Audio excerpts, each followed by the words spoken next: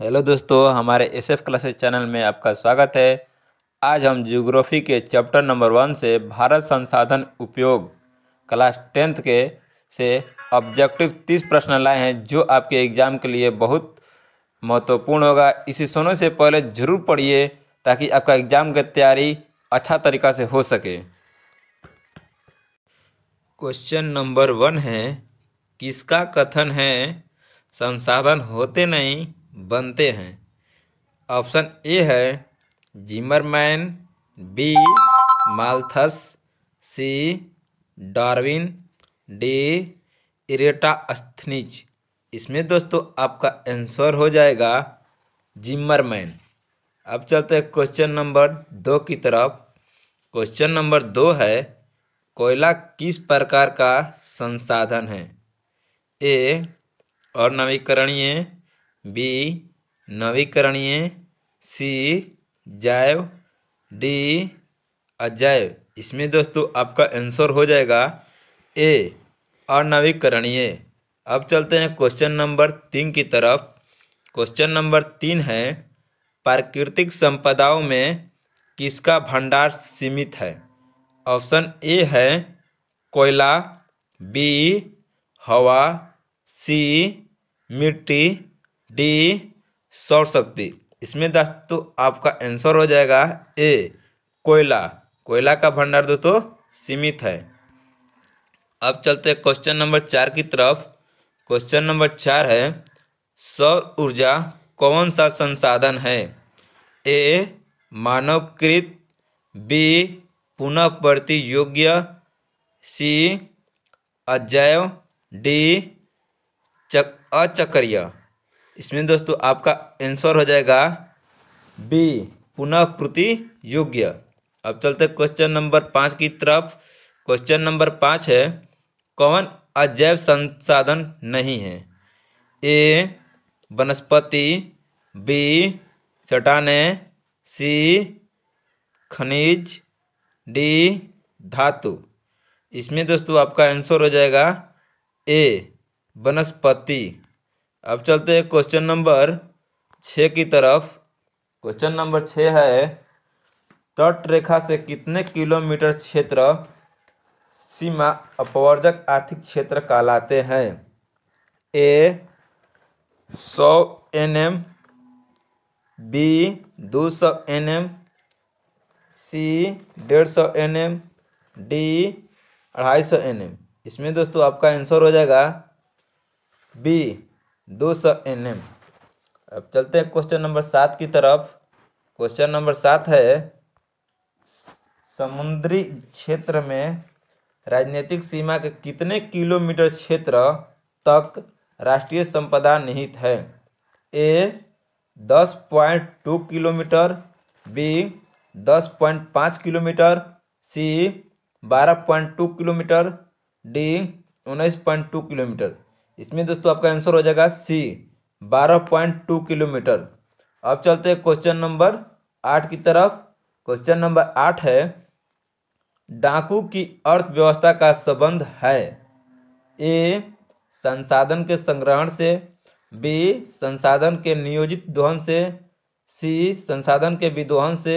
D, इनमें से कोई नहीं। इसमें दोस्तों आपका आंसर हो जाएगा बी, संसाधन के विदोहन से। अब चलते हैं क्वेश्चन नंबर नौ। क्वेश्चन नंबर नौ है, पृथ्वी सम्मेलन, प्रथम पृथ्वी सम्मेलन किस देश में आयोजित किया गया था? A, America, B, Bharat, C, Japan, D, Brazil. इसमें दोस्तों आपका आंसर हो जाएगा,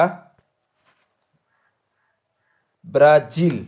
अब चलते हैं क्वेश्चन नंबर दस की तरफ़। क्वेश्चन नंबर दस है इनमें से कौन प्राकृतिक संसाधन नहीं है?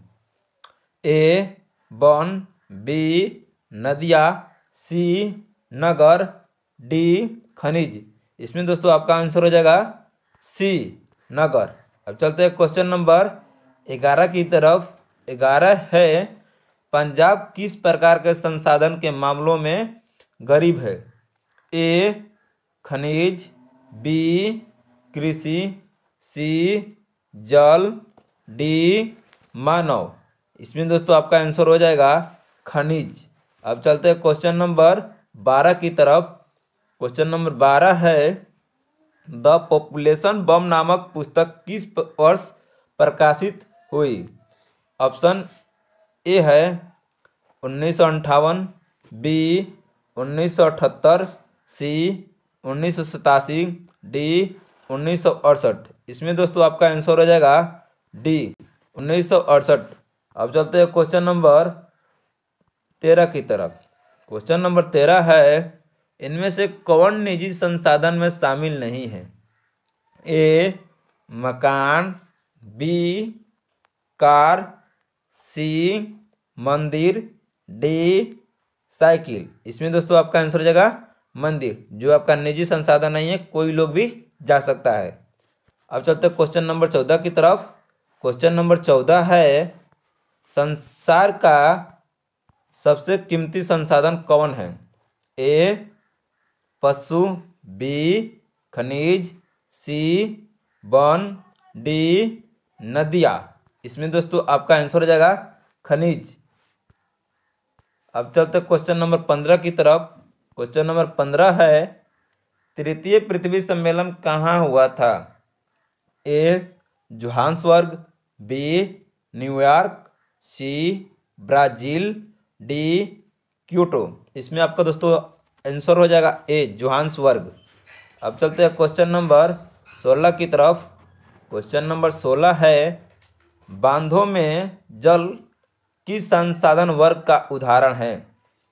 ए, भंडार, बी, संचित, सी, संभावी डी विकसित। इसमें दोस्तों आपका आंसर हो जाएगा बी संचित। अब चलते हैं क्वेश्चन नंबर सत्रह की तरफ़। क्वेश्चन नंबर सत्रह है, स्वामित्व के आधार पर संसाधन के कितने प्रकार होते हैं? ए एक बी दो सी तीन डी चार। इसमें दोस्तों आपका आंसर हो जाएगा डी चार। अब चलते क्वेश्चन नंबर अठारह की तरफ़। क्वेश्चन नंबर अठारह है, संसाधन नियोजन के कितने स्तर होते हैं? ए एक बी दो सी तीन डी चार। इसमें दोस्तों आपका आंसर हो जाएगा सी तीन। क्वेश्चन नंबर उन्नीस है उन्नीस सौ बानवे के पृथ्वी सम्मेलन में लगभग कितने देशों के राष्ट्रीय अध्यक्ष शामिल हुए थे? ए है पचहत्तर, बी है नब्बे, सी एक सौ सत्तर और डी है संतावन इसमें दोस्तों आपका आंसर हो जाएगा एक सौ संतावन सत्तर। अब चलते हैं क्वेश्चन नंबर बीस की तरफ़। क्वेश्चन नंबर बीस है, क्लब ऑफ़ रोम ने किस वर्ष संसाधनों को विवेकपूर्ण उपयोग का प्रस्ताव रखा।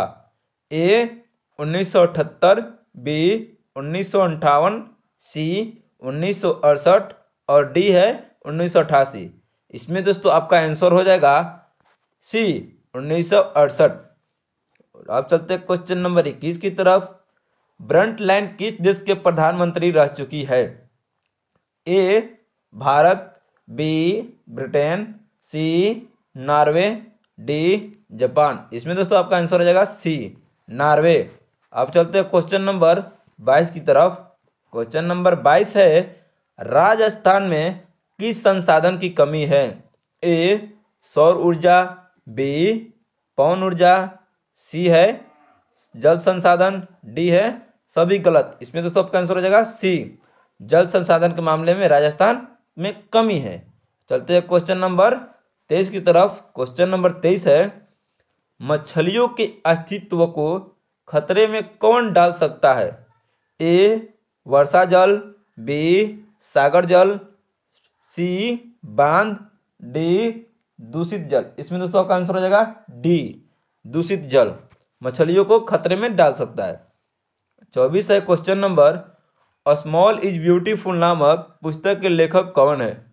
ए सुमेसर बी सॉरी ए है सुमेकर बी सुमेसर सी महात्मा गांधी डी अमर्त्य सेन। इसमें दोस्तों आपका आंसर हो जाएगा B सुमेसर।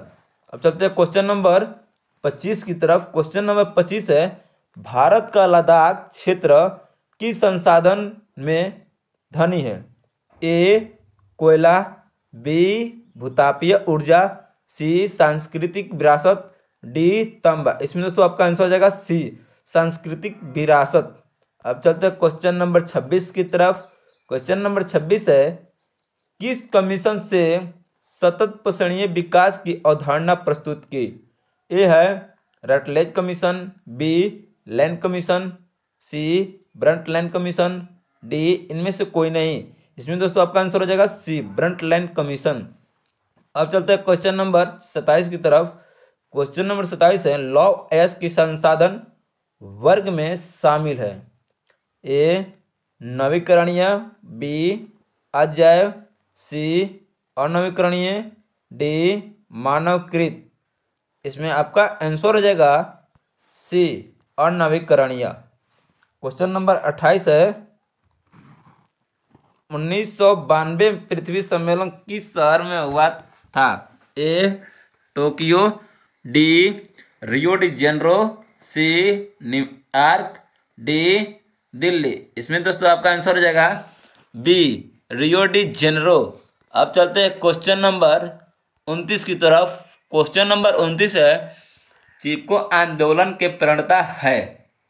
A, Megha Patekar, B, Mahatma Gandhi, C, Sunderlal Bahuguna D, Sandeep Pandey. इसमें दोस्तों आपका आंसर हो जाएगा C. Sunderlal Bahuguna question number तीस है, ज्वारीय ऊर्जा किस प्रकार के संसाधन का उदाहरण है? ए नवीकरणीय बी अजैव सी मानवकृत, और डी है जैव। इसमें दोस्तों आपका आंसर हो जाएगा ए नवीकरणीय। अगर यह वीडियो दोस्तों अच्छी लगी तो लाइक करें सब्सक्राइब करें, और बेल आइकन को प्रेस करें, और वीडियो अच्छी लगी तो शेयर करें। जय हिंद, जय भारत।